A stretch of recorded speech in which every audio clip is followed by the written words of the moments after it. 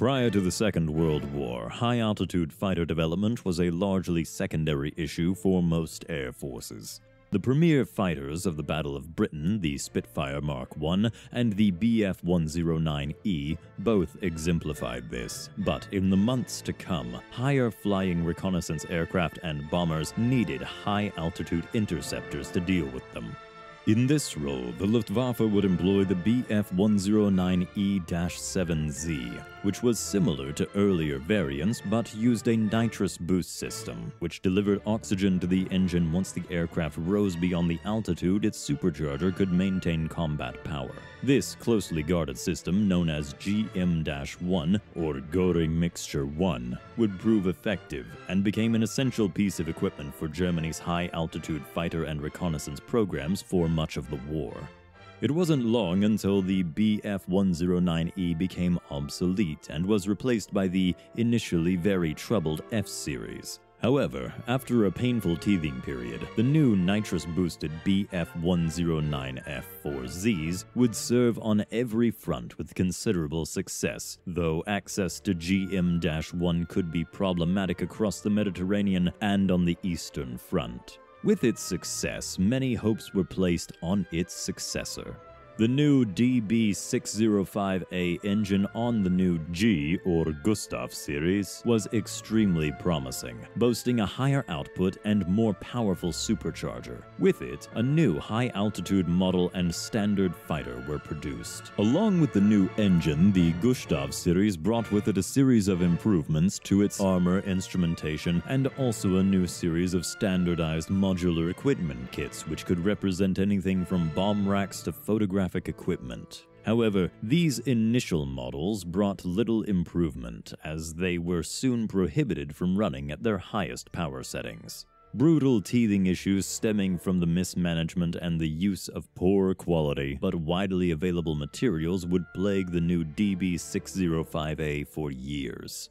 Of the two new fighters, the Bf-109G-1 was the specialized high-altitude model, which would include both the ability to carry the GM-1 system and a pressurized cockpit. The cockpit pressurization allowed for a pilot to remain at extremely high altitudes without encountering any of the discomfort one would otherwise experience. Without the aches, pains, and numbness, the pilot was far less likely to become fatigued after long flights at extreme altitudes. The cockpit pressurization system was rudimentary and was kept pressurized by a compressor which drew from a small scoop left and forward of the pilot.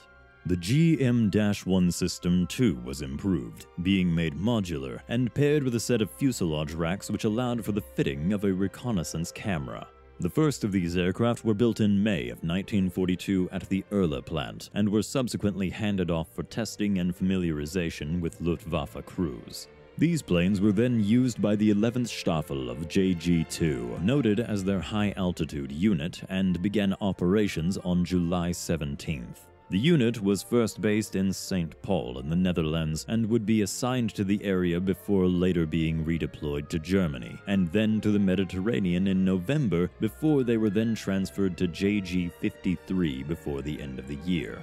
JG-5 also received a number of the planes some weeks after JG-2, the unit being assigned to various bases in Western Europe until the end of the war. In service, the aircraft performed well, and the pressurized canopy was well regarded. Curiously enough, the aircraft were not reserved exclusively for high altitude use and were instead used much like the standard version of the fighter. Their use as high altitude interceptors was more typical of the Western European squadrons, which had the benefit of better access to GM 1. In spite of the debacle of getting the DB605A into service, improvements were slowly being made. Chrome-plated exhaust valves added much-needed durability and corrosion resistance, and a series of improvements to oil circulation would fix most of the engine's most serious problems. The restrictions would finally be released by the autumn of 1943, over a year after the aircraft first entered service. At the beginning of the year, the Bf-109G-3 had superseded its predecessor on the production line. The aircraft's largest difference, apart from its engine improvements, were its larger tires. Small bulges were added to the top of the wing to accommodate the enlarged landing gear, and the larger tail wheel was now non-retractable, contributing a considerable amount of drag. These changes were made to give the aircraft better ground handling and allow it to better operate out of rough airfields on the Eastern Front and the Mediterranean.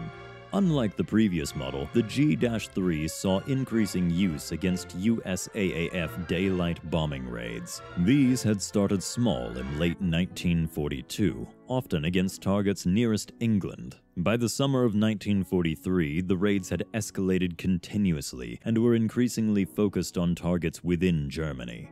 In addition to the typical daylight squadrons, several Bf 109 G 3s and later more heavily armed G 5s were passed on to the single engine night fighter unit JG 300 and its sister squadrons 301 and 302, NJG 11, and the 10th Night Combat Group.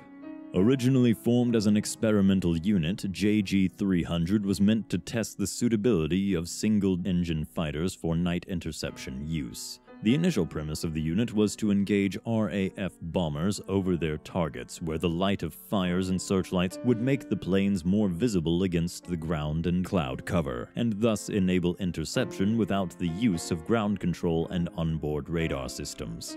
The group was expanded upon with the 301st and 302nd Squadrons being established, while the hope of transitioning daytime fighter squadrons to night was deemed infeasible due to the amount of training required, the combined unit would continue its task. Carrying out the interceptions over raided cities was an exceptionally dangerous one, as they shared the space with flak units and a growing number of enemy night fighters. As RAF night fighters began to escalate their intruder missions over Germany, transitioning to and from interception areas became much more dangerous. While the Mosquito night fighters were larger and less nimble than the Bf-109, their radar systems allowed them to catch the otherwise blind daylight fighter. In addition to the wild boar tactics, the fighters were also employed in ground-directed interception in order to deal with high-flying Mosquito pathfinders and bombers, though no Luftwaffe aircraft could effectively catch them until the ME-262B Provisional Night Fighter was introduced. In this role, the single-engine night fighter would be directed into a fixed intercept zone which covered either the approach or departure of the detected enemy aircraft. There, the target would be tracked by the zone's dedicated radar and searchlight units while the fighter would be guided in. This was an exceptionally difficult task owing to the speed of the Mosquito and, without a good starting point of the interceptor, the chases were often fruitless. By the end of 1943, the newest and last iteration of the high altitude series was in service. The new BF-109G-5 now carried a pair of 13mm MG-131s in place of its older 7.92mm guns. The heavier guns and the enlarged cowling meant that the aircraft was slower than the one it replaced. These aircraft were distributed to units on all fronts and used much like their standard non-pressure pressurized counterparts in addition to their high altitude roles. However, most were deployed in the strategic air defense of Germany, where they faced a new and very dangerous opponent.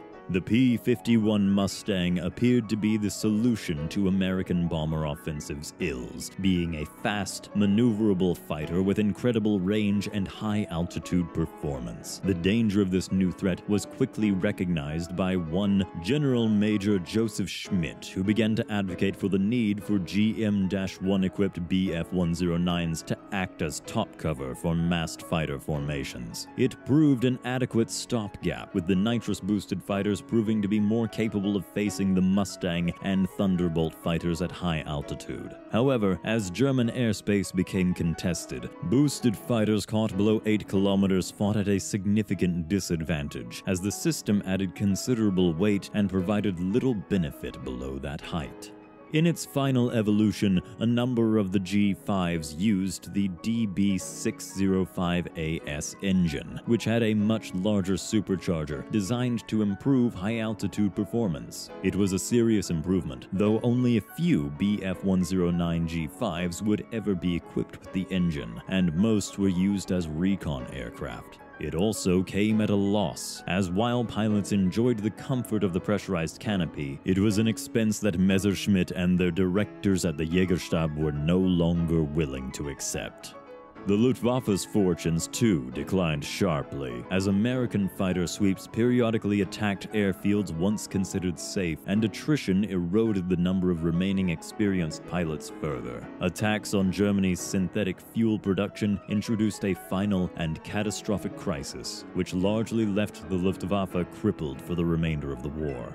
G5 production was phased out entirely in June of 1944, as Messerschmitt moved to consolidate Bf-109 production with the G-14. This would include a high-altitude model using the DB605AS engine, but without pressurization. It regained some parity with its high-flying Allied opponents, though it wasn't until further refinements that the final K-series could truly match them.